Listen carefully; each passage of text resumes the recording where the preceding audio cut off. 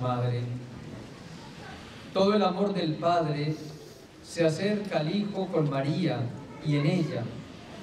Toda la ternura de Dios, el Espíritu Santo está en el corazón y en las manos y en la mirada de esa Madre.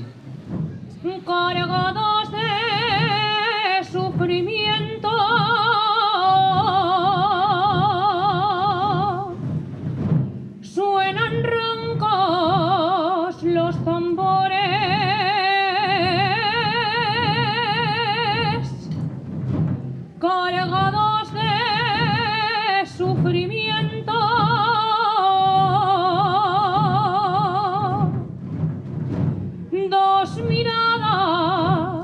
que se enlazan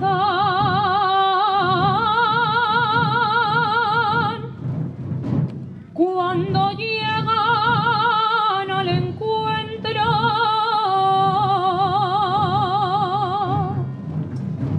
cuando llegan al encuentro.